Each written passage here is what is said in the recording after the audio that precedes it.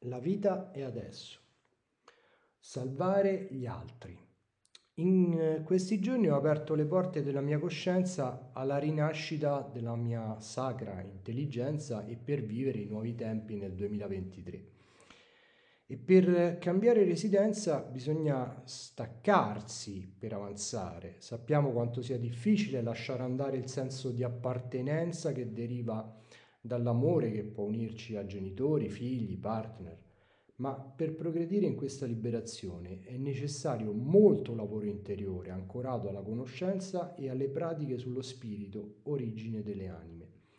Prendersi cura e proteggere se stessi e gli altri segue la stessa difficoltà di comprensione. Quando cerchiamo di salvare la sanità mentale di qualcuno, di dimostrare il nostro eh, punto nella speranza di risvegliare un'altra anima, sprechiamo l'energia che dovremmo impiegare per guidare noi stessi. Man mano che ancora di più l'ancori questa luce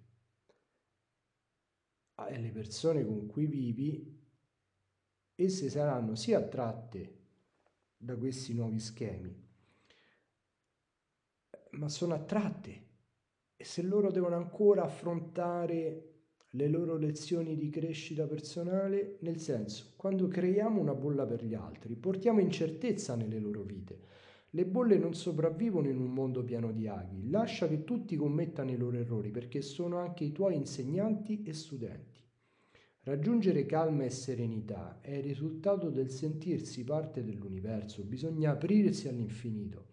La crescita porta a momenti di questo stato per stabilizzare la centralità e con tutti i mezzi trascorrere meno tempo nella sofferenza. E così smettiamo di sentirci intrappolati in una rete opprimente e crudele di questo mondo. Quelli intrappolati in questa rete di illusioni sono i dormienti, che attraversano la vita indifferenti e distratti perché non crescono interiormente.